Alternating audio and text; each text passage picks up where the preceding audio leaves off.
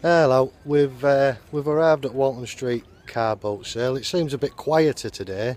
Um, doesn't seem to be as many traders and stall holders as there usually is.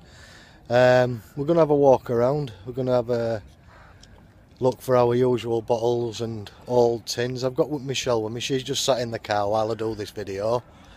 But um, I'll catch up with you again soon and see, let you know if we found anything. See you soon. Alright then, we've had a walk around. Um, Michelle's just sat having something to eat. She's a bit tired now, so I thought I'd do my video. We've managed to find a few tins, a couple of bottles I think, but it's a bit thin on the ground for glass this morning, which is a shame, but you know, you can only pick up what you get. Anyway, when I get home, I'll uh, dig it all out and I'll show you. Right, back home from the Walton Street car park. Um, did manage to pick a few up like I said. The first one I got was another Farragut's toffee tin.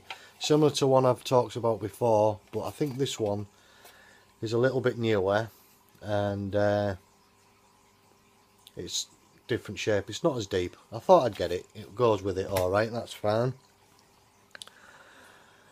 Um, another pastilles tin for throat and catarrh, that's nice.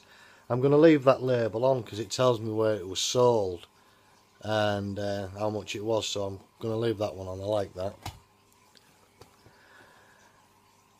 Uh, what's this one? Rinstead for sore gums due to dentures, ulcers and tooth extraction.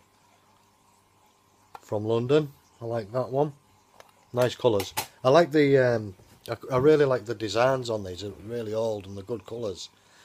Uh, bronchial lozenges, bar boots, by the looks of it.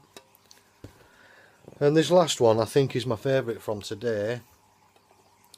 It's for typewriter ribbon lovely green and gold colouring uh, nice shape as well uh, and as far as what else did we get I got a very common Bovril bottle.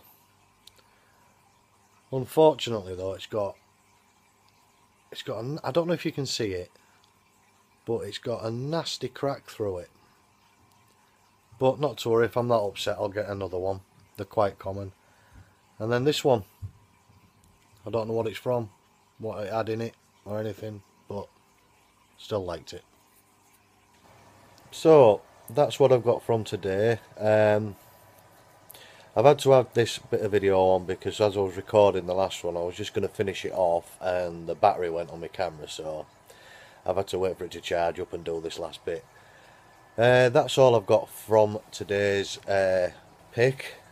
I'm pretty happy with it all as I said I enjoy the colours on the tins and things like that you know but I think for my next video I keep saying this but I'm gonna have to do it I think for my next video I'm gonna do something to show you everything all together all my bottles and all my tins that I've gathered up to now it'll only be a quick thing because you've seen a lot of what I've got already through you know earlier YouTube videos and that so sooner or later I'll get around to that and get it posted Anyway, thanks for watching. I hope you will subscribe and share my videos. I know it isn't to everybody's taste, what I'm doing.